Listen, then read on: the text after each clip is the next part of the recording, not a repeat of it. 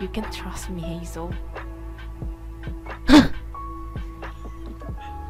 I hate you! I hate you so much!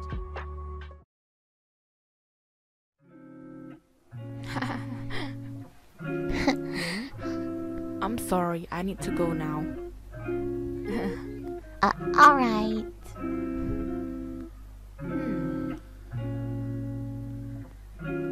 Let's Oh, biology. My least favorite subject. How can you learn all of these? I don't know. Ask my brain.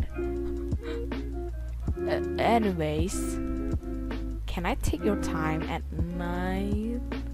No. Can't you just stop bothering me? Come on! Mm. We're like childhood friends. Why don't you want to hang out with me? Ugh, whatever. You're so annoying. Hmm, in higher vibe 19. Wait, isn't that a club's name? Razel.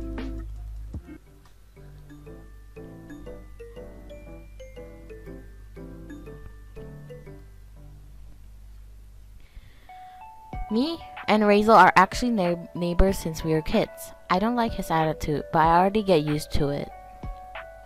He's selfish, funny, and very naughty. Here's my story and his story. Hazel. Um, why do you dress like that to the club? Look, how did she dress everyone?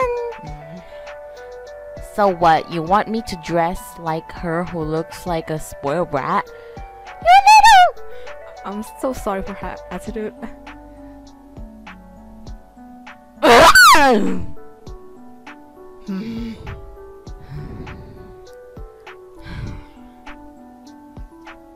I know what you say is true, but that's so rude of you.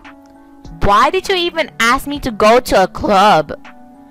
You know we're still 16. I mean, no one will know. It's illegal, Razel. If you keep doing this, I will never talk to you anymore. No, please. I'm sorry. Don't touch me!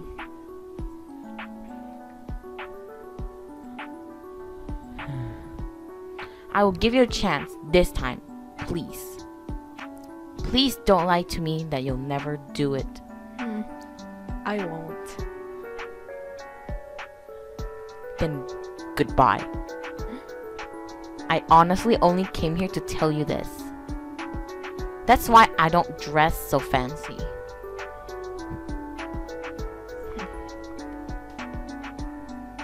The next day.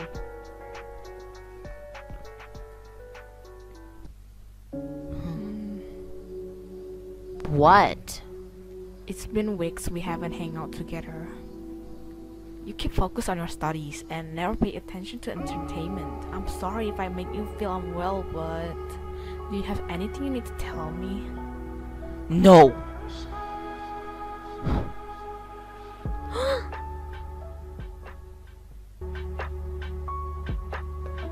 You can trust me, Hazel.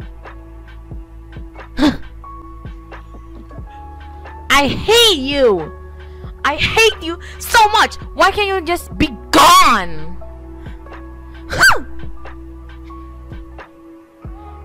You hated me that much? Fine then. I won't bother you anymore. But I just want to let you know that I will always be there if you need me. What did I say? Whatever. I don't even want to see him anymore. and of course, because of him, I kept focused on my studies. Why do I keep thinking of him?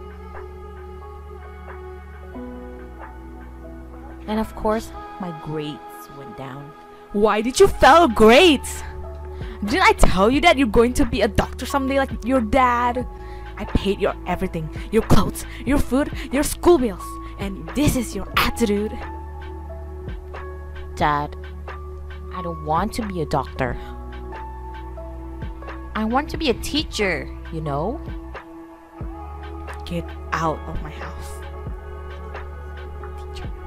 What? I said get out of my house now!